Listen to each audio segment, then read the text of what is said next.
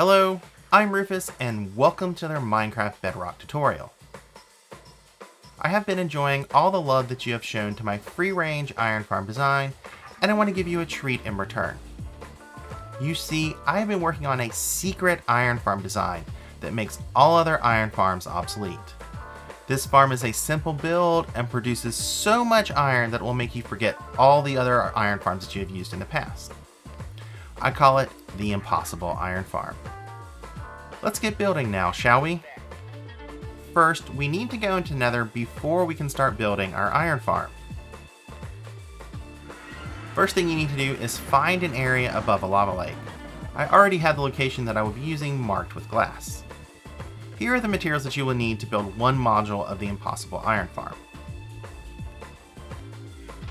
First thing we're going to do is we're to come over here and we're to start placing our obsidian. So we're going to place one, two, 23 pieces of obsidian. We're also going to add uh, 23 pieces of obsidian going up, so that's two, 23. We're gonna come over here and do the same. 23 pieces on this side as well. 23, and across the top.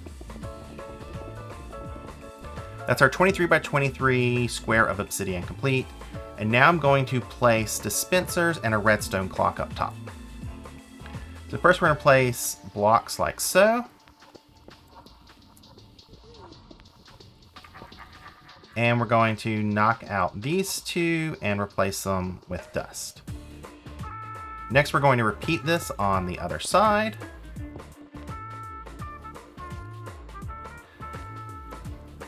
Knocking out temporary blocks and replacing them with dust. Now we're going to place repeaters. We'll place a repeater there, a repeater here, a repeater here on three ticks, a repeater here, a repeater here, and a repeater here on three ticks. On this side, we are going to place more redstone dust and a block. And on this side, we are going to place redstone dust and a observer facing downwards with a slime block on top of it. Next, we're going to place our dispensers underneath like so Next, we're going to place a powdered snow bucket in one and an empty bucket in the other one. Next, we're going to place a sticky piston, a block, and a lever. And this will allow us to turn our clock on and off. Next, we're going to come down to the bottom and on the west side of our blocks, we are going to place 15 observers. Two, three, four, five, six, seven. Two, three, four, five, six, seven, eight. And we're going to surround them with glass.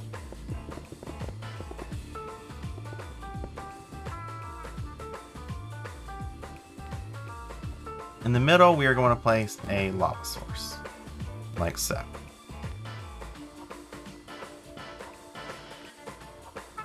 Next, we are going to um, open up our drop chute here.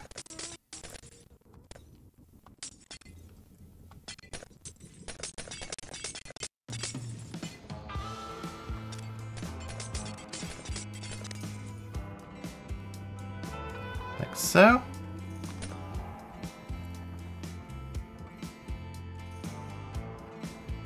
And then place warped buttons on top of these observers. One, two, three, four, six, seven, eight, nine, 10, 11, 12, 13, 14, 15. Now that I've completed the first part of the iron farm, I will work on the collection system down below. come down here, and I've already marked out the location under the drop chutes. We're gonna come down here and we're gonna place a double chest. Now we're going to skip five blocks. One, two, three, four, five. On the six blocks, another double chest. One, two, three, four, five, six, another double chest. And one, two, three, four, five, six, another double chest. After that, we are going to place hoppers. Place three hoppers pointing into each chest.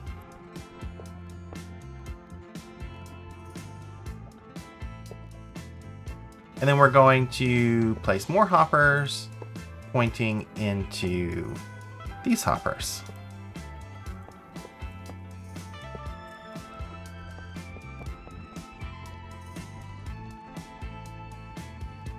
So we're going to fill this whole area with hoppers leading into our chests.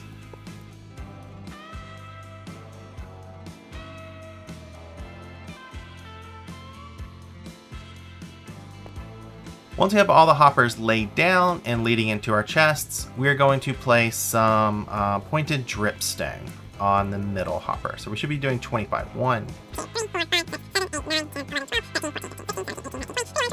And 25. So that is our collection system complete, and now it's time to turn on the farm. So turn on our farm, come up here and flip this lever. When we turn on the farm, the dispensers up top will break the portal using powdered snow, and the lava down below will relight the portal. The portal will rapidly tick on and off, causing iron golems to spawn. The iron golems will fall down onto the pointed dripstone and die from magnified fall damage, and the hoppers will collect the drops. One module generates 20,000 iron ingots per hour, and if you hook 5 modules up, you will get 100,000 ingots per hour. This is 250 times more iron than a single village iron farm. If you build the Impossible Iron Farm, let me know in the comments how it works for you. If you run into any problems, or if it simply doesn't work for you, let me know that as well. Don't forget to join my Discord, like that ding button, and subscribe to my channel. So I'm Rufus, thanks for watching.